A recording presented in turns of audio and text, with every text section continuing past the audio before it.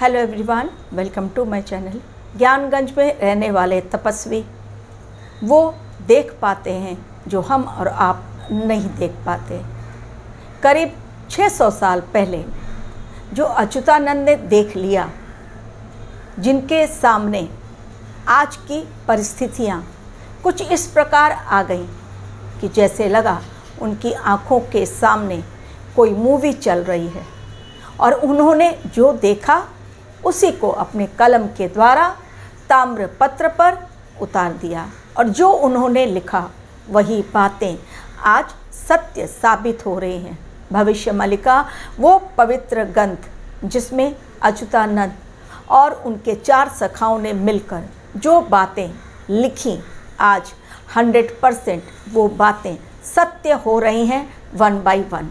लेकिन जो बातें ऋषि मुनियों ने अपनी नज़रों से देखी। जिन घटनाओं को घटित होते हुए देखा, हज़ारों वर्ष पहले। आज के लोग क्यों उन्हीं बातों को न समझने के लिए तैयार, न ही बोलने के लिए तैयार अपने मुँह से कि हाँ पुराणों में लिखी गई बातें हंड्रेड परसेंट सत्य हैं। चाहे वो भविष्य पुराण हो, नारद पुराण हो, शिव पुराण हो या कृष्ण और उद्धव की बातें। लेकिन जो डिवाइन के मुँह से निकली बातें थीं और जिन बातों का ज़िक्र पुराणों में किया गया, भविष्य मलिका में किया गया, आज उन्हीं बातों को सत्य होता हुआ हम देख रहे हैं। लेकिन आज भी बहुत लोग हमारे ही समाज में ऐसे हैं जो सिरे से ईश्वर के अस्तित्व को नकारते हैं। हाँ जब वो मुसीबत में फंस जाते हैं, तब, हे ईश्वर, मुझे बचा लो। ये कहना नहीं भूलते। तो जिन्हें आप मानते नहीं, अचानक मुसीबत में आप उन्हें फिर याद कैसे करते हैं? या तो आप बिल्कुल ही नास्तिक बन जाइए और या तो अपने मुँह से कबूल कर लीजिए कि आप आस्तिक हैं।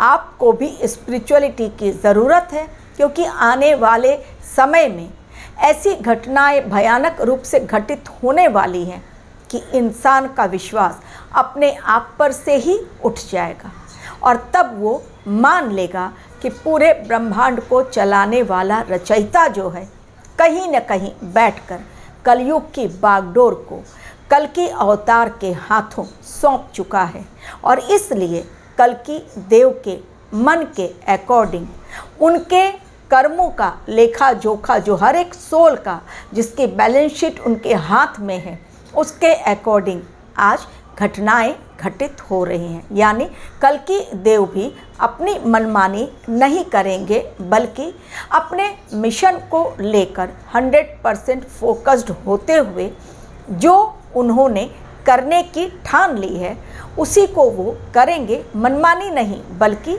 उनकी पहले से तैयार हुई वो सारी बातें हैं, सारी चीज़ें हैं, सारी घटनाएँ हैं, जिन्हें समय समय पर वो करते जाएँगे अपने मिशन के दौरान। लेकिन कल की देव का मिशन आसान नहीं, बेहद मुश्किल है और बहुत सारे लोग आज के असुरी शक्तियाँ उनके रास्ते में रोड़े अटकाने के लिए तैयार खड़े हैं। इसलिए उन्हें तैयार किया गया। परशुराम के द्वारा, भगवान शिव शक्ति के द्वारा कि उनके अंदर इतनी शक्ति रहे कि कभी भी उनके कदम डगमगाए नहीं।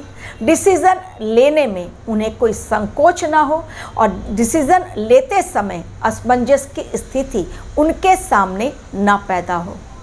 इच्छा शक्ति यानी विल पावर, वो पावर होती है कि इंसान के पास कुछ भी नहीं तो भी वो बहुत कुछ कर सकता है अपने जीवन में। लेकिन संकल्प शक्ति ही यदि आपकी वीक हो जाए, कमज़ोर हो जाए तो भला अपने मिशन को आप कामयाब कैसे करेंगे?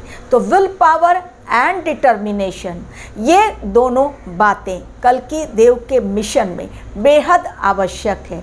और इसलिए ही कल की देव है, खास हम लोगों से अलग एक मानव के रूप में भी उनके पास है, वो डिवाइन विल पावर वो डिटर्मिनेशन जो उनके गोल को अचीव करने के लिए उनके पास हमेशा रहेगी। लेकिन उस गोल को अचीव करते समय आप यदि गिर भी जाएँ, फिर उठते हैं फिर खड़े होते हैं, फिर नए जोश के साथ आगे बढ़ते हैं। उसी प्रकार कल की देव के मिशन में उन्हें गिराने के लिए, उन्हें बेइज्जत करने के लिए आज की असुरी शक्तियाँ तरह तरह के रूप में उन पर न सिर्फ़ आरोप लगाएँगे, बल्कि उनके मिशन को फेल करने के लिए और अपनी पीठ थपथपाने के लिए हमेशा तैयार रहेंगे। लेकिन कल की देव का मिशन इतना कमज़ोर नहीं है। इसीलिए डिवाइन ने पहले ही उनके अंदर वो विल पावर वो डिटर्मिनेशन लाकर खड़ा कर दिया है, जो किसी भी तूफ़ान के सामने, प्रलय के सामने, किसी भी ऐसी भयानक घटना को देखकर जो कभी नष्ट नहीं हो सकती और इसीलिए कल की देव अपने उसी संकल्प शक्ति आत्मशक्ति के द्वारा, मज़बूत इच्छा शक्ति के द्वारा अपने मिशन को कामयाब करते हुए इस धरा पर एक नए युग का निर्माण करने में पूर्णता सक्षम होंगे और उनके साथ महाकाल का आशीर्वाद और जिनके साथ है शिव शक्ति का आशीर्वाद, जिनके साथ उनके गुरु का आशीर्वाद, उनके माता पिता का आशीर्वाद देवी देवता गण का आशीर्वाद वो भला अपने मिशन में अनसक्सेसफुल कैसे हो सकता है? तो कल की देव की ही तरह, कल की देव चाहेंगे कि उनके भक्तों में भी वो डिटर्मिनेशन और विल पावर जागृत हो, जिसके द्वारा कलयुग में आने वाली विषम परिस्थितियों में भी वो डट कर खड़े रह सकें, गिरें, फिर उठें और फिर आगे बढ़ें। ना किसी के सामने झुकना है, ना किसी को झुकाने की कोशिश करनी है, बल्कि अपने अंदर, अपने ईगो को खत्म करके अपने विल पावर को मज़बूत रखकर, अपने डिटर्मिनेशन के साथ अपने गोल को अचीव करने के लिए अपने जीवन में निरंतर प्रयत्नशील बने रहना है। Thank you very much for watching my video